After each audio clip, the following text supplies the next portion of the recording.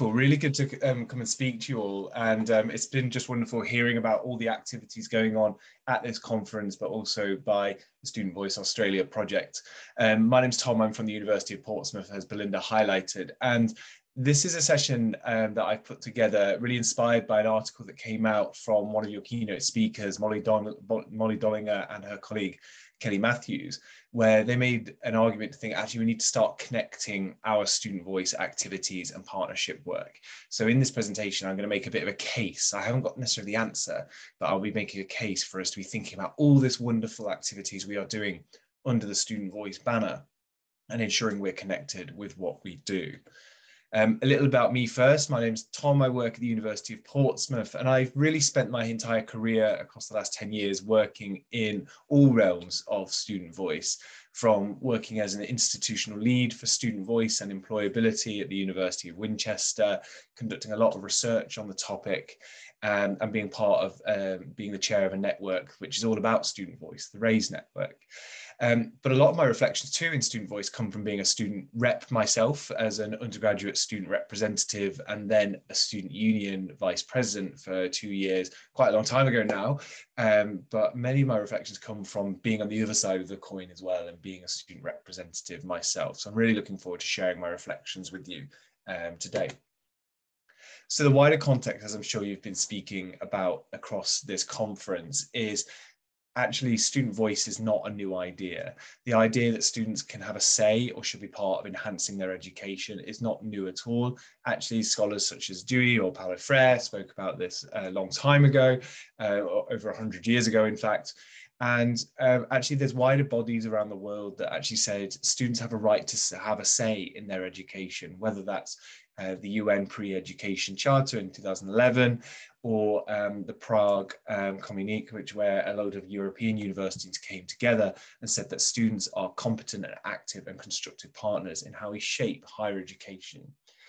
For any of you that have worked at other levels of education as well, you'll know that student voice is um, it's a very prominent area of research. It may be referred to as learner voice or pupil voice in primary and secondary educations. So the student voice context that higher education is now fantastically part of is definitely not alone and not the newest of ideas, but perhaps it's still a field that we're experimenting in and it's still a field in very complex institutions that are modern universities where we still need to innovate and we still need to explore.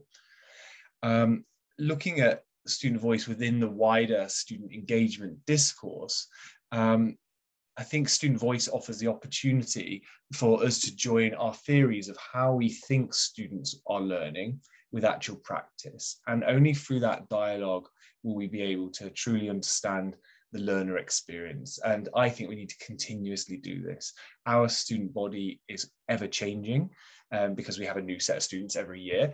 Um, and also uh, the world is changing very, very quickly as well, not just in regards to technology, in regards to generational change, social change and progress, let alone the um, the kind of cataclysmic and gigantic impact that the COVID-19 pandemic had, where now every student who is entering higher education will have witnessed some form of distance learning student voice is very much reliant on relationships between students and staff, and that's something I'll pick up during this presentation.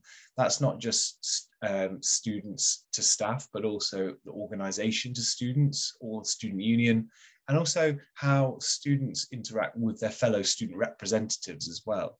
And I can see from the hashtag you've been talking about across this last couple of days, the role of the student representative or the role of the student partner. And what does that role mean for the wider student body? Um, I've already highlighted that there's other search terms out there you may want to explore like learner voice or pupil voice. But Alison Cook-Sather and uh, Cathy Bovill and Peter Felten highlight that student voice actually really the missing perspective. And I think we should all reflect sometimes that actually staff make up about 10% of our university population. Yet on the majority of our decision-making bodies and committees, staff make up 95% plus. And actually there's a real skew really towards staff being in charge and empowering organizations, when actually those organizations wouldn't exist without the students. And I think including that missing perspective, um, increasing the percentage of that missing perspective is really important. So I'm sure over the last two days, as I've seen from on Twitter, there's two key areas of student engagement activity which um, you will have been speaking about. And actually, when I speak about these topics, I split them. Um, one is student voice and one is student representation. And I know nation by nation, university by university, these activities can differ. Student voice I separate from student representation being any student and every student has a voice. And I would argue that a student voice conversation about education is anything from an informal chat to a set of emails. Um, there's lots of models out there to look at how we can make those informal chats and conversations about education more meaningful. Um, and there's lots of different ways that we go beyond our elected student course reps by having feedback forums or running university surveys. But this conversation with students, when we say, hey, how's it going? Or how are you finding it so far?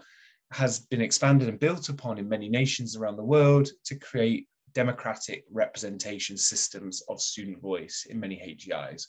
And I know this area of activity is going on where you all are um, on the other side of the world to me right now.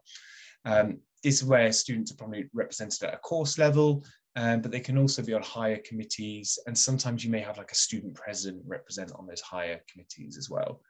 These two areas of activities together, though, I feel build the foundation for wider student voice activities such as student staff partnership research projects, student surveys, um, feedback forums. And I think if you get these two areas right, you can then build some fantastic opportunities upon them. I think if these two areas are neglected, then things can start going wrong. I'm obviously from the UK, as you can tell from my accent, and um, we are actually in a sector that heavily um, prioritized student voice for many years, particularly across the 2010s our equivalent to TEQSA, um, our quality assurance agency, highlights that every university must take deliberate steps to engage all students individually and collectively, which is hard in the partners of quality assurance. And also in our uh, equivalent to your student experience survey in Australia, our national student survey actually has three questions, and there's only 27 questions on this survey that ask these points around that students have the opportunities to give feedback, that staff value that feedback, and it's clear where that feedback was acted upon. The feedback loop we often speak about.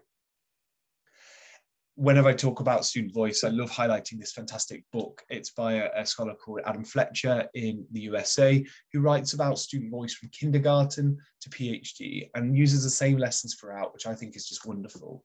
Um, Adam quite simply defines student voice as any expression uh, oh, sorry, student voice as an expression of any student in any forum about learning. Essentially, student voice is any conversation about their education.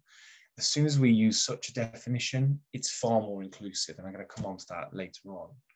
He goes on to use lots of fantastic frameworks, but does say this, that um, actually his goal is talking about meaningful student voice or meaningful student involvement. And that's not just about listening. That's not just about having lots of gimmicks and schemes where students can give some feedback, but it's about acknowledging that feedback. It's about being committed to that feedback. It's promoting it. It's empowering both students and staff and expanding conversations. I think it's important to reflect on our student rep activities where most of the foundation of this activity goes on. I don't know all the, the ins and outs of your individual institutions, but largely student representatives are, it's an informal role. It's actually a role that you may exist in all the time, where you are elected to be the class rep. You may sit on only nine hours of committees a year, uh, maybe even less. Uh, but you're all, often there is a volunteer and perhaps supported by a central staff member or a student union. Um, but many have argued, as I've already highlighted, that student representation structures form the foundation for wider student engagement activities. And if you refer to Alex Buckley at Edinburgh Napier, who says that student engagement can occur in two zones, the political and the pedagogical, I would probably argue that student representation straddles those both. And when I talk to student unions about student voice and representation, I always make a really important point that these activities rely on us meeting in the middle. So I think student engagement and student voice is about students and staff meeting halfway. I think a traditional non-student voice focused higher education indicated on the left of my slides here is where both students and staff aren't coming into those student voice spaces to talk about their education. I think students can become customers if students aren't being invited to meet halfway and perhaps they're sitting back and the staff feel like they're bending over backwards for those students. Actually, on the flip side, if um, I know there's a session earlier today on student activism, um, if staff aren't listening, then students are more likely to turn to activist measures to get their message across. Um, but really, we want to see our student engagement practices and student representation meetings of students and staff meeting halfway, perhaps in mutual spaces and shared spaces to talk about their education. Certainly example of both students engaging and staff engaging. There's challenges out there though, and this brings me round to my argument. There's a big challenge going on at the moment in regards to all of these fantastic activities we have and a word called representativeness. Just because you have one student rep in the room or one student voice in the room, does their voice represent their fellow 30 classmates or their fellow 300 classmates or their fellow 30,000 students? it is not necessarily clear. And so there's a real concern around the representativeness of our student representatives. Alex Bowles writes about this very, very well. Um, and are those students truly representing themselves or reflecting the wider student body? I think when we become over reliant on student union presidents, uh, course reps, that sometimes actually these roles could be inaccessible for some students because they require a lot of time. Sometimes they require a lot of volunteering. Some students don't have the ability to volunteer excessively. Um, so we've got to reflect on how accessible, accessible these roles are. So there's a lot going on, that is clear. There's lots of in-person activities going on in universities. There's lots of online activities going on. And we're now researching with students too. I'm not going to go through these individually, but I think all of these come from a wonderful place. And by no means that I am critiquing any of these activities because they are all um, coming from a place of let's enhance education for our students. But my argument perhaps is that there's a lot going on in our institution. So let's go on to talk about my argument. Because we're resourcing other things as well. We have um, student surveys, student reps, research projects, students as partners, student engagement and decision making on quality assurance committees. So, and actually, I would argue we now have at many institutions student voice en masse, where student voice is going on everywhere. The concern is there's a lot going on. And what about representativeness? What about accessibility, as Sarah O'Shea highlights? What about connectiveness, which was really the paper that inspired me, where Matthews and Dollinger talked about the differences between student representatives and students as partners how equitable are all these opportunities to students who maybe face barriers already to their higher education? And then I've seen somebody tweet about it already at this conference, the age-old, age-old discussion of do we pay for these student opportunities or do we not? Well, right now we're paying for some and we're not paying for others. So I think that question is still worthy of tabling. I worry that we've got lots going on in the expanding universe of student voice. And actually, um, if we include things even like emails and discussions and research, we've got so many different things going on in this space of student voice. And I worry that they're all going off in wonderful directions alone and they're unconnected. But the only thing that unites all of these areas of activity is the student, because we are asking the student to engage with all of these activities. I'm, I've gone to lots of universities around the UK and helped them audit their student voice opportunities. And some universities are conducting 60 surveys during a three-year undergraduate degree. That's 20 surveys a year. That's just too many, you know. So are we asking too much and are we being a bit chaotic with our good intentions in our student voice activities? So I take a, a broad definitions of student voice as Adam Fletcher highlighted. So absolutely probably the most the most basic form of student voice we think of is someone putting their hand up and saying, I didn't understand that, or the deadline you just highlighted is different in the module handbook to what you just said in class. It's those discussions. It's also emails to everybody. And I've done research on the feedback loop, and a lot of students referring to the feedback loop as responding times to emails. It's your student reps, as I've already highlighted, your national surveys, your student union. It's also complaints as well, everybody and complaints, official university complaints are often hidden in institutions, very private. They're a form of student voice. They're a negative form of student voice, but they're an important form of student voice. And I've often said that we need to be welcoming to all forms of feedback, positive or not. And as soon as we ignore and say, no, no, no, no, we can't include that in the student voice dichotomy. Actually, to the students, that is part of that picture, but we need to ensure that it's something we welcome and talk about as well. All of these count as student voice too. And I think if the other barrier uh, pathways are closed, students will move towards these areas of student voice. And these are absolutely forms of student voice, perhaps ones that some universities wouldn't like to talk about. Um, well, every student has the right to protest and and to to uh, uh, to share their views in that way, but also every student now has the ability to just post on social media what they think. If we're not open in our feedback pathways, then students will go to those uh, lengths and where they might not even need the press anymore because social media offers them far um, more um, instantaneous um, noise than any going to the press would. But of course, going to the press counts as that. So we have all these activities, and for all of them, we've got to try and create some form of feedback loop. Here's a feedback loop that I've used in student rep trainings in the past.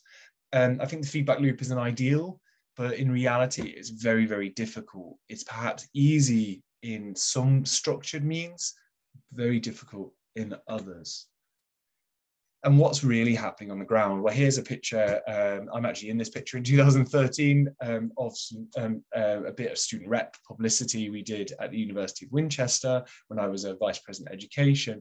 What's really happening is off. This shows that you're together as student reps, but often that student rep is alone in the meetings. Often that student rep is alone in that email chain, and often that student rep, although they are supported by their fellow students, is alone and often sometimes the lecturer looks like this um, i've done a lot of work over many years around trying to calm down those student voice meetings where people go in very defensive. I'm defending my course. I'm defending my teaching. I'm defending my curriculum. And sometimes that student voice meeting can become a bit of a battle. What's also potentially really happening is we have endless means of students to give feedback and we're shouting give us voice give us feedback give us voice. And it can feel like you're throwing a paper airplane off a off a cliff edge really that if yes you can submit that feedback but where's it gone what's happening with that feedback we don't really know and i'm very concerned that we have higher education institutions where our student voice exchanges look a bit like the flight trader app where you there's just thousands and thousands of little bits of student voice going around the organization and we're not really clear what's going on where. So I think there's an argument as I come towards the end of my presentation, there's an argument to connect our opportunities for student voice. And I've just used a really small example here, which is by no means conclusive, to highlight how we could do this in some form of framework.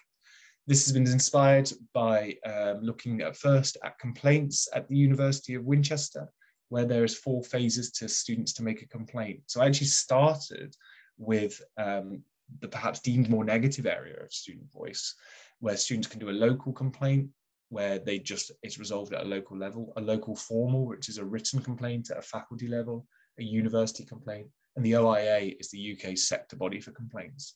And then actually saying, well, actually, if this is a framework of student voice, and as you go up, you have to put more effort in, more time.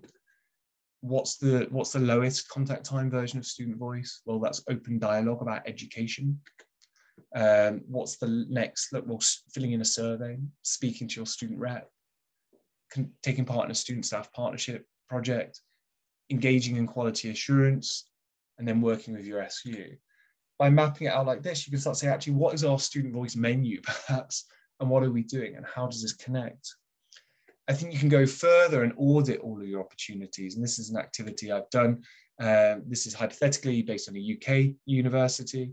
Um, and I've categorized them as institutional feedback thing options. These are things we put serious time and money into.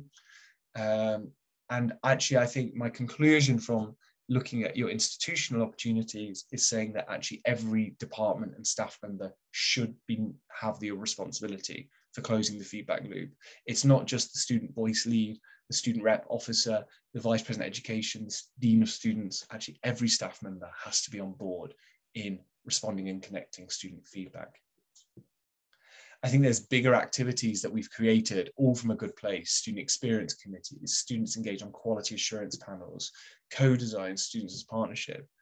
We're engaging students to have ownership, and this activity is also worthy of reflecting upon. But in these activities, you could also engage our students in closing the feedback loop and connecting our activities too. because if the feedback doors are shut or if this is messy, then there can be less ownership, and that's what we want from our student voice activities. But I also think if we get some of all of these wonderful activities wrong, we could be falling into that student as customer mindset.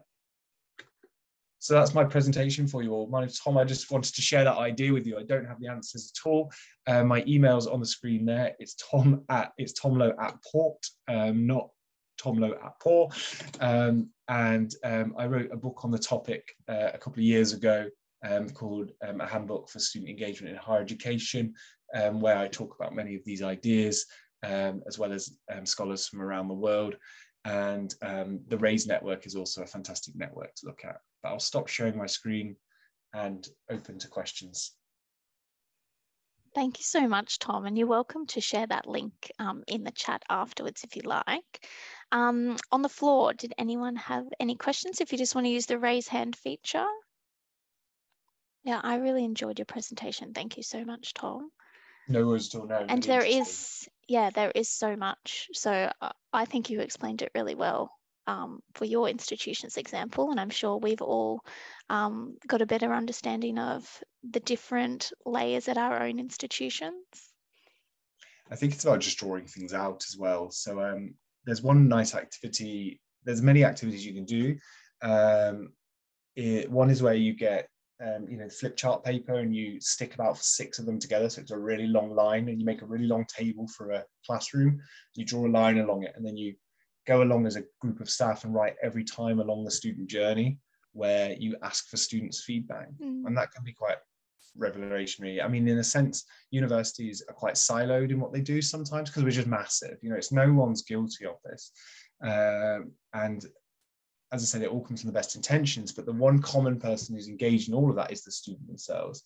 Um, so there's a lot going on in the UK right now where people are saying, oh, we need to, we're just emailing students too much. We're just surveying students too much. We're just asking, and we need to be a bit more strategic because even though we think we're very organized, maybe as the library service or as a course team, um, where we say, well, we're engaging students three times a year, that's great. If every department's engaging students three times a year, it comes like 29 times a year. And you can, and I've met students and spoken to them, they said, crikey me, university, you just keep asking me how to run things, you know? Um, and um, I think it's interesting to be a balance. I think yeah, it's a challenge finding that balance, isn't it?